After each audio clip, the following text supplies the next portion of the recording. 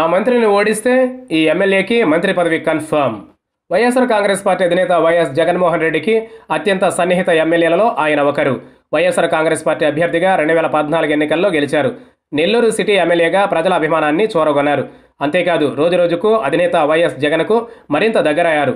YS Jagan అడుగులో అడిగి వేస్తూ జగన్కు చేరవయ్యారు వైఎస్ జగన్ సైతం అనిల్ కుమార్ యాదవ్కు ప్రత్యేక గుర్తింపు ఇచ్చారు. రెండు వేల పంతొమ్మిది ఎన్నికల్లోనూ ఆయనకు మళ్ళీ ఎమ్మెల్యేగా అవకాశం ఇచ్చారు. అయితే గత ఎన్నికల్లో కంటే రెండు వేల పంతొమ్మిది ఎన్నికల్లో టఫ్ ఫైట్ ఎదుర్కొన్నారు అనిల్ కుమార్ యాదవ్. అనిల్ కుమార్ యాదవ్పై పోటీ చేసింది మామూలు వ్యక్తి కాదు. తెలుగుదేశం పార్టీలో కీలక నేత మంత్రి నారాయణ. నారాయణ విద్యా సంస్థల అధినేతగా పేరుగాంచిన ఆయన తెలుగుదేశం ప్రభుత్వంలో మంత్రిగా కీలకంగా వ్యవహరించారు. దీంతో అనిల్ కుమార్ యాదవ్ నారాయణల మధ్య టఫ్ ఫైట్ నడిచిందని అంతా చెప్పుకుంటున్నారు. అయితే కొన్ని సర్వేలు మాత్రం అనిల్ కుమార్ యాదవ్కు అనుకూలంగా ప్రకటనలు ఇస్తున్నాయి.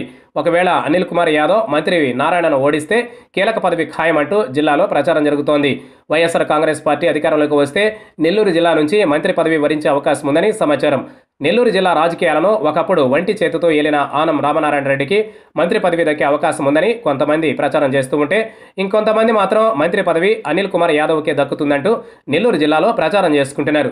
అధినేత వైఎస్ జగన్ వెంట ఉంటూ పార్టీని నమ్ముకుని మాస్ ఇమేజ్ను సొంతం చేసుకున్న ఎమ్మెల్యే అనిల్ కుమార్ యాదవ్కు మంత్రి స్థానం లభిస్తుందని ధీమా వ్యక్తం చేస్తున్నారు. నెల్లూరు జిల్లాలోనే మాస్ ఇమేజ్ను సొంతం చేసుకున్నారు అనిల్. అనిల్ ఎక్కడికి వెళ్ళినా అభిమానులు కార్యకర్తలు అక్కడికి పోవాల్సిందే.